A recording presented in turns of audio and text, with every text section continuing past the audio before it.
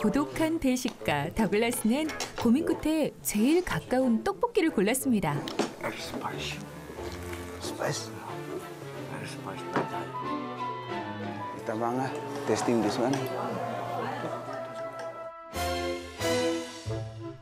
수산시장에서 고추냉이에 호두기 당했었던 더글라스.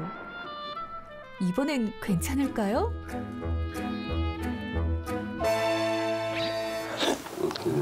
피자. Rakit. 볶기 볶기 떡볶이. 어, 피자. 한참 치맥하던 마이클. 매운 떡볶이도 잘 먹을 수 있겠죠?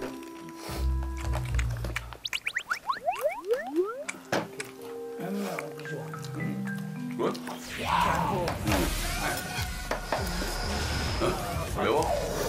응. 그렇지, 그렇지. 어, 매워? 응. 그렇지, 그렇지. 응. Little bit hot. Tteokbokki hem hot. En we me get use little bit for kakaimuta hot spices. 한국 생활 7일 만에 매운맛에 완벽 적응한 한식파 마이클.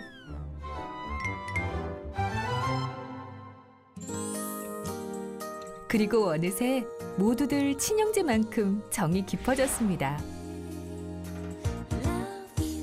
서로 챙기는 모습 정말 보기 좋네요. 마이클, 한국 왔었지?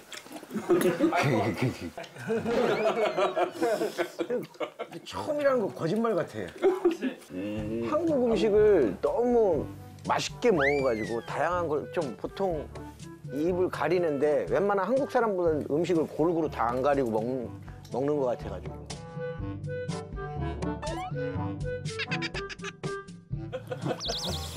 맞아, 3년 전에 남산 돈가스 집에서 한번 본 것 같아.